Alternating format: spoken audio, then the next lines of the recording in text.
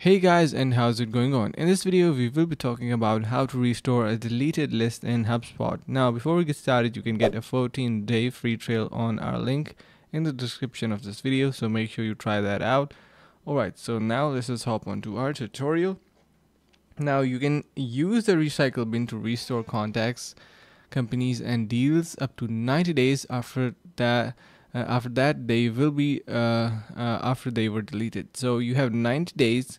So let's just assume that you have deleted something and then you are simply going to be uh, trying to restore them. So you can uh, restore it until uh, 90 days.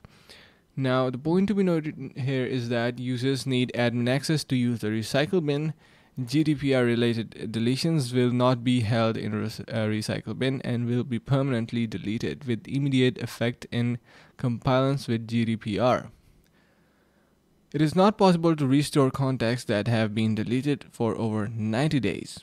So yeah, make sure that if you have something deleted, it should be within the time period or time span of 90 days. You have 90 days to completely restore it. After that, it will not uh, no longer will be possible. To restore a deleted contact, company, or deal in your HubSpot account, navigate to contacts, companies, or deals.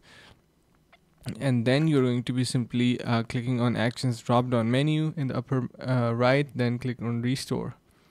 Uh, uh could be con contacts, companies, or deals. And the recycle bin will open in new browser tab window. Select the checkbox next to the name of the contact company deal to restore then uh, restore in the upper right. And you can see we have the checkboxes in here.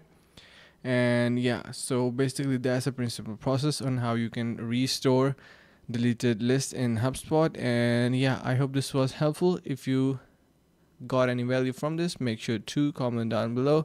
And do not forget to check out the link in the description of this video to get a 14 day free trial on HubSpot. So thank you so much for watching